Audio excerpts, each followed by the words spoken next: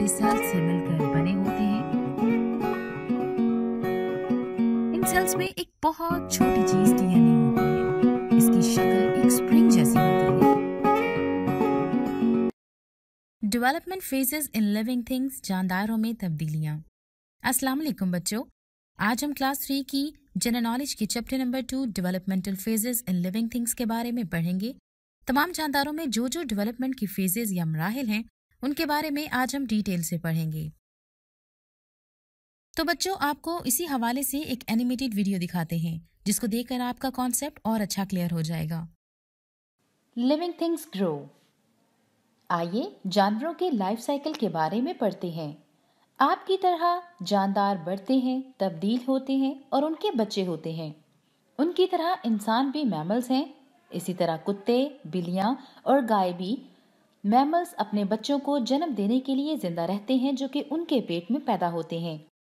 वो दूध पीते हैं बेहतरीन नशोनमा के लिए, अपनी ताकत के लिए, जब तक वो कुछ खाने के काबिल ना हो जाए। कुछ जानवर अंडे देते हैं, मुर्गी अंडे देती है। जब मुर्गे के तोलीदी अमल से मुर्गी के अंडे पैदा होते हैं तो हर अंडे के अंदर एक चूजा परवरिश लेता है। मुर्गी के तर्ज ज़िंदगी पर नज़र डालते हैं।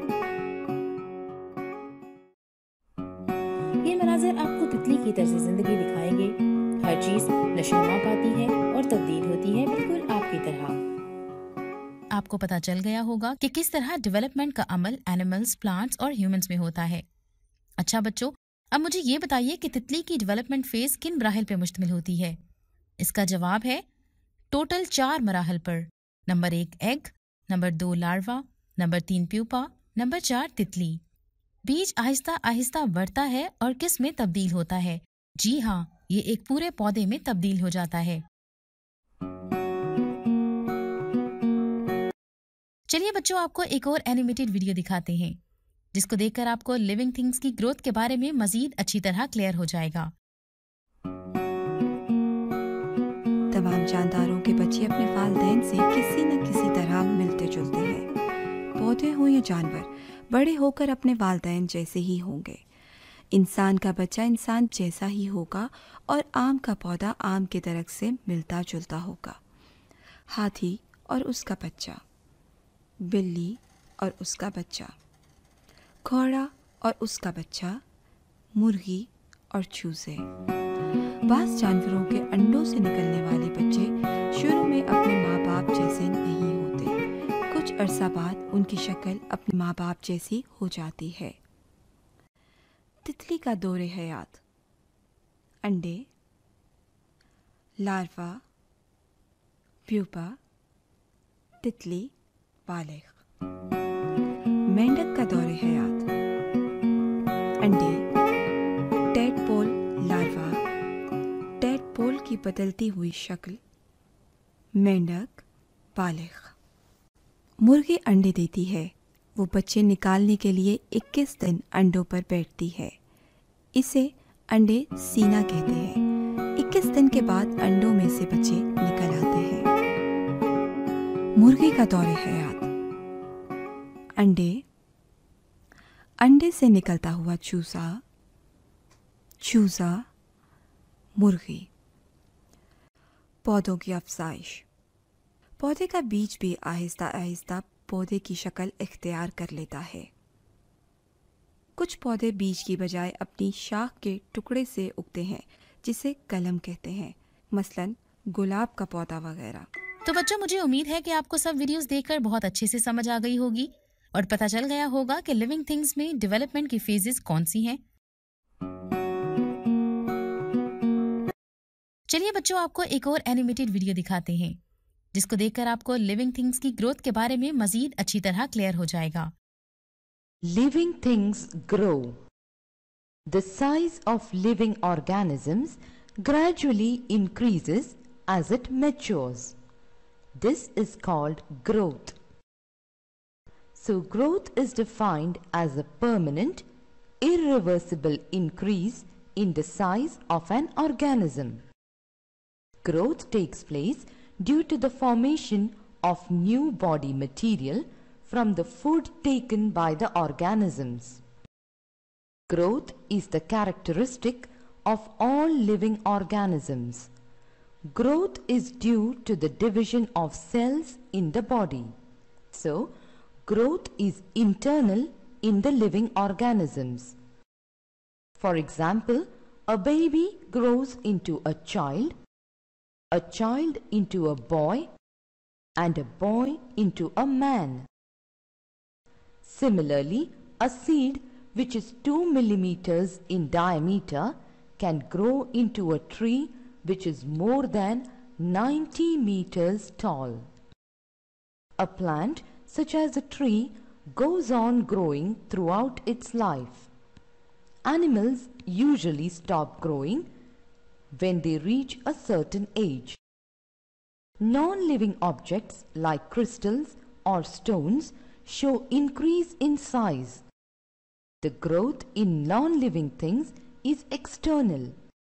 It takes place due to the addition of similar material to their outer surface.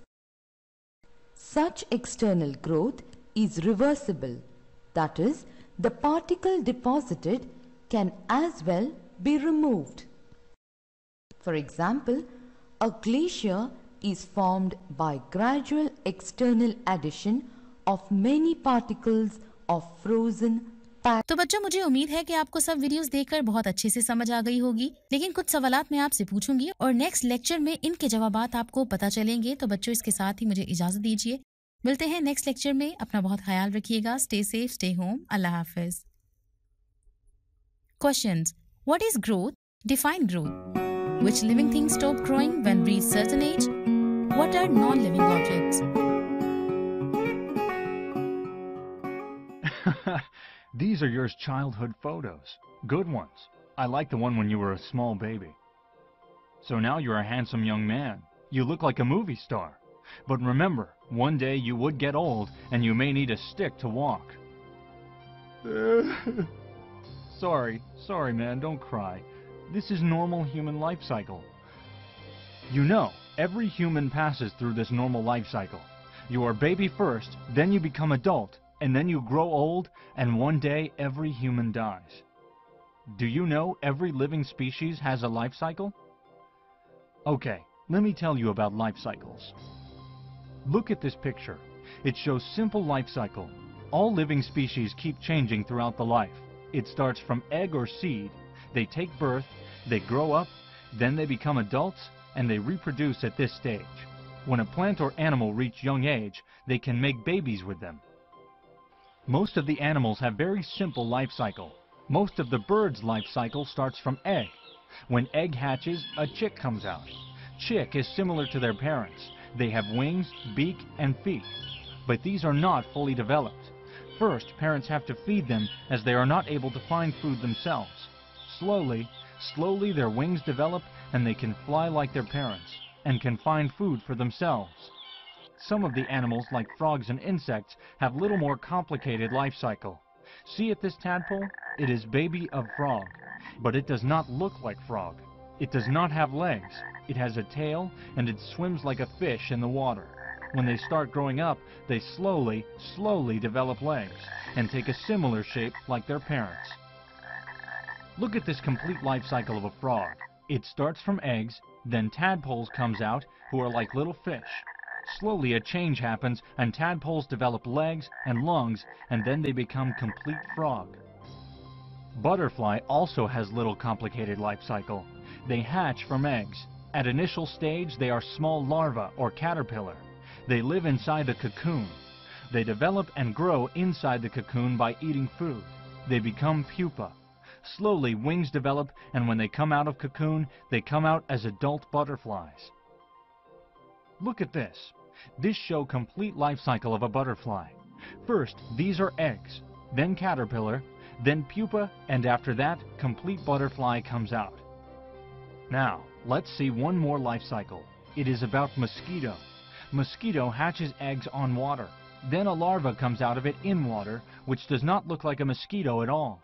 This larva develops into a pupa, which after further growth becomes a mosquito. Just see carefully.